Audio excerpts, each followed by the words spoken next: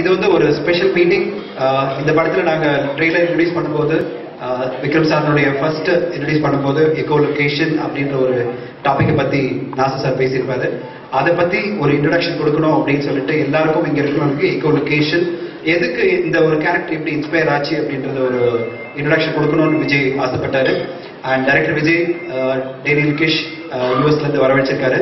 And we are very happy and wish thank mister Daniel Kish for coming all the way from US to be a part of this get together we also wish to thank Vikram sir for being here அவர் பயங்கர schedule போயிட்டு இருக்கு டைட்டான schedule போயிட்டு இருக்கு அவரோட shooting and has to travel to Bombay continuous பிஸியாக இருந்தாலும் இந்த படத்துடைய ப்ரொமோஷன் கூட இருக்கணும்னு அப்படி சப்போர்ட் பண்ணி அவர் is here with us today so thank you so much sir thank you so much for being here and இந்த படம் from UTV we are very proud படம் முடிஞ்சிருச்சு எல்லாம் முடிச்சாச்சு போஸ்ட் ப்ரொடக்ஷன் முடிஞ்சிட்டு இருக்கு and next week dubbing the uh, dubbing the are censoring the the film and we are all very happy ஒரு அற்புதமான படம் நான் சொல்வேன். ஜே ஆர் விக்ரம் சார்னுடைய கம்ப்ளீட்லி நியூ டைமென்ஷன்ல அவருடைய பெர்ஃபார்மன்ஸ் அவுட்ஸ்டாண்டிங் பெர்ஃபார்மன்ஸ் ஒரு கமர்ஷியல் என்டர்டெய்னர் இந்த மாதிரியும் புதுசா கொடுக்கக்கூடிய விஜய் கண்டிப்பா எல்லாருக்கும் காமிக்க போறாரு அண்ட் மியூசிக் ஆல்ரெடி டாப் சார்ட்ஸ்ல இருக்கு. ஜி பிரகாஷ்க்கு மிக மிக பெரிய நன்றி.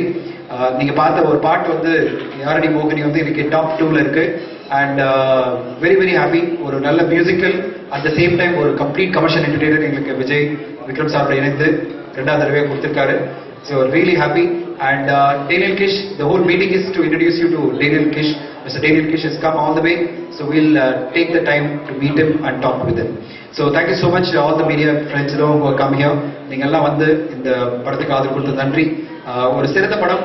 செப்டம்பர் இருபத்தெட்டு ரிலீஸ் டேட் அதுக்கான ஒரு ரிலீஸ் டேட்டுக்காக அடுத்த வாரம் நாங்கள் சென்சர் பண்றோம். உங்களுடைய ஆதரவு தொடர்ந்து இருக்கணும்னு எல்லாருடைய நான் கேட்டுக்கொள்கிறேன். நன்றி வணக்கம்.